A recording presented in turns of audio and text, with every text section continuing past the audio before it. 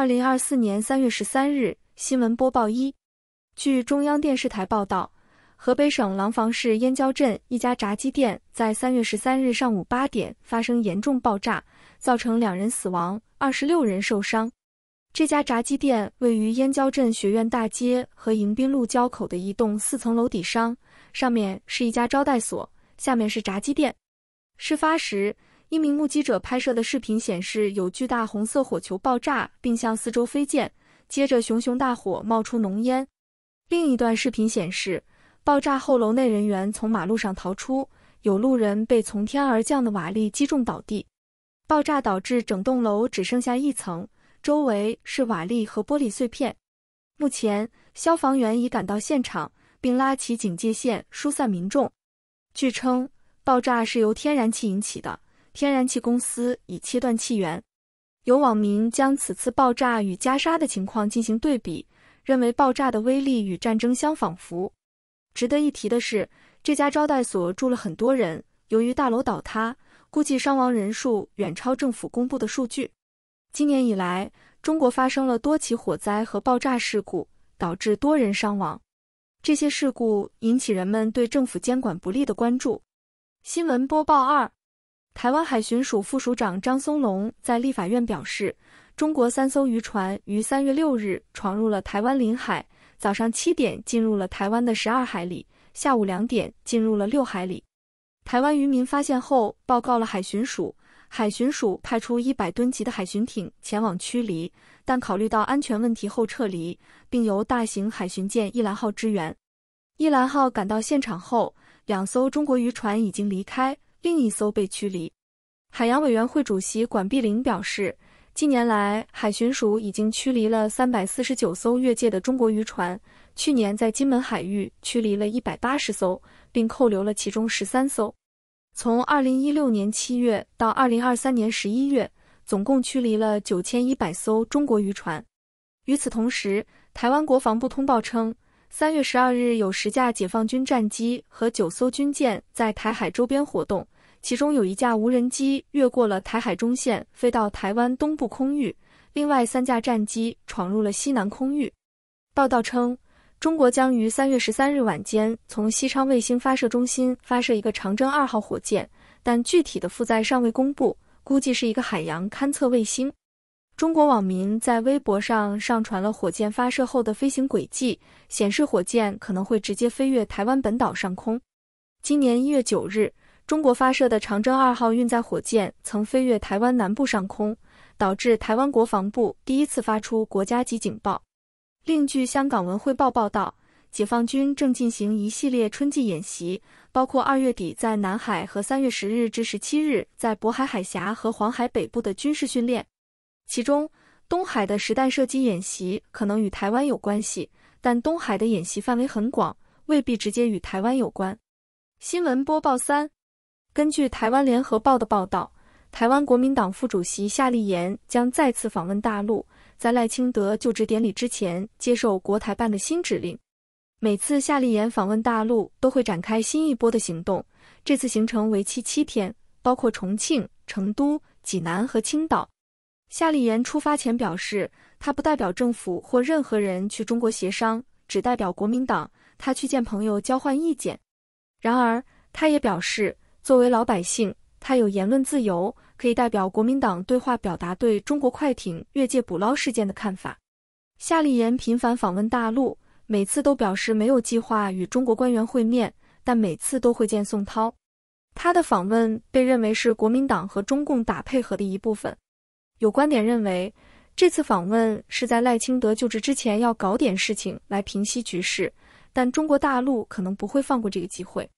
新闻播报四：印度总理莫迪在库沙拉底邦为三家芯片厂举行了奠基仪式，其中一家是台积电和印度的塔塔集团合作的芯片厂，专门生产 AI 芯片，预计每月产能为五万片。莫迪表示。这三家芯片厂将有助于印度成为全球主要的芯片制造中心。在活动中，台湾的领导人通过视频方式参加了活动。画面中可以看到台湾外交部政务次长田中光和印度的台北协会会长叶达夫等人。新闻播报五：美国白宫发表声明称，美国总统拜登和波兰总统杜达以及波兰总理图斯克在三月十二号在白宫举行了会谈，双方讨论了两国的能源安全伙伴关系以及支持乌克兰等议题。拜登在会议中表示，美国将向波兰提供二十亿美元的直接贷款，并向波兰出售九十六架阿帕奇直升机。这一举措将使波兰成为欧洲的军事强国。美国国务院在三月十二号通知国会，将向波兰出售三十多亿美元的导弹。杜达表示，俄罗斯入侵乌克兰显示出美国是世界安全的领导者。他还要求北约成员国将国防预算提高到 GDP 的百分之三，以抵御俄罗斯的入侵。尽管北约对成员国的要求是国防预算占本国 GDP 的百分之二，但许多成员国无法达到这一要求。波兰的国防预算已经达到了 GDP 的百分之三点九，几乎达到了北约百分之二的目标的两倍，也是北约成员国中国防预算占比最高的国家。美国的国防预算占 GDP 的百分之三点五，排名第二，但总额较高。此外，杜达和图斯克还会见了美国国会两党的领导人，敦促美国国会支持乌克兰，并尽快提供援助。新闻播报六，据彭博社报道，美国众议院军事委员会战略武力小组委员会于三月十二号举行听证会。美国国家航空航天情报中心的分析师麦考密克在听证会上作证，表示中国在研发高超音速武器方面领先美国和俄罗斯。他指出，中国通过二十年来的集中投资，推动了常规和核武器的开发，造就了世界上领先的高超音速武器库。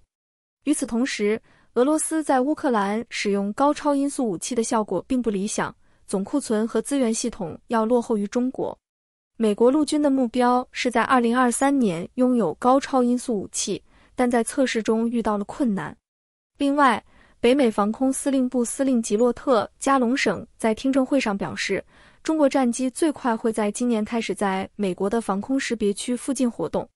他表示担忧中国日益增长的能力不仅仅是战机，还有军舰甚至潜艇，他们能够在离中国更远、离美国海岸更近的地方活动。对此，美国的防空识别区是一个国家单方面划定的空域，目的是提供一个缓冲，以防止可能的威胁。不同国家的划定方式不同，有的往外延伸几百公里甚至上千公里，有的则较近。台湾的防空识别区较近。这些发言可能会被视为对中国的批评和忧虑，但也可以看作是对国家安全和国防预算的讨论。不过，这些言论可能会被部分人视为政治宣传或刺激国防支出的手段。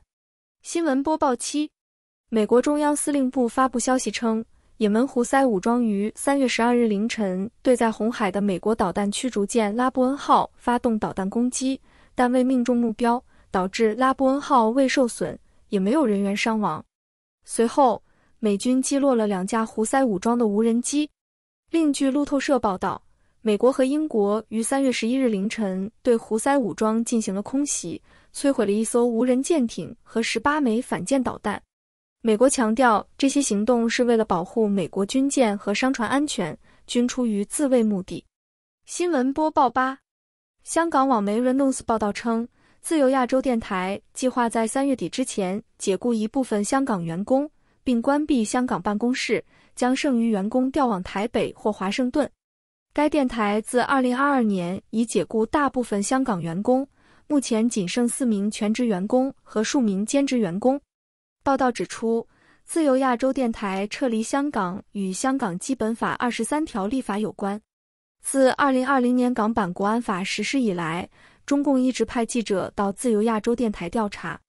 由于香港局势紧张，该电台于2022年停办了三档粤语评论节目。报道称。自由亚洲电台因香港基本法二十三条立法被指责针对媒体。与此同时，美国驻华大使伯恩斯于三月十一日和十二日访问香港，出席了一场会议。学者认为，伯恩斯此次访问旨在了解在香港的美国商人的看法。美国商人希望找到对策，而不是放弃香港市场。伯恩斯听取了他们的意见，并表示将向美国政府提出建议。然而，美国政府尚未做出积极回应，这表明他们仍有顾虑。由于香港有大量美国商人，美国政府仍在评估情况。新闻播报九：日本民营航天企业 Space One 于三月十三日在和歌山县进行了首次卫星发射，但不幸的是，火箭发射后仅六秒就在空中爆炸，爆炸产生了火焰和浓烟，碎片四处飞散。Space One 发射的是一枚长十八米的小型火箭。本次发射计划是将一枚小型卫星送入轨道。Space One 的社长丰田正和表示，火箭在发射后出现异常，导致自行终止飞行。Space One 成立于2018年，最初计划在2022年3月进行火箭发射，但因为疫情多次推迟。新闻播报时，中国作家莫言和英国作家古尔纳于3月11日在北京举行了文学对谈。莫言在此次活动中首次公开露面，此前曾被网民举报。网民说真话的毛星火在二月二十二日向北京中级法院起诉莫言，指控其小说侮辱了革命先烈。莫言在开场致辞中表示，尽管科技日益发达，一些言论对文学敲响了警钟，但作家独具个性的思维是人工智能无法替代的。他和古尔纳认为，在他们有生之年。不会因为人工智能而失业。中国官媒如中新社、北京日报等对这次活动进行了报道，中央电视台还对莫言进行了专访。莫言的公开露面以及官媒的报道显示，这场风波可能即将过去。莫言还在对谈中提到，作家除了讲故事外，还应在作品中表现自己的思想，但在中国，这是一件很危险的事情。新闻播报十一。在两会期间，发生了一件奇怪的事情，就是三月六日，两会的主办机构在媒体中心举行了经济主题的记者会。参加记者会的有发改委主任郑山杰、财政部长蓝福安、商务部长王文涛和证监会主席吴清。记者会快要结束时，司仪正在致谢时，一名灰衣记者刘文贵突然闯上台，被保安扭送下去。这一幕被直播中断。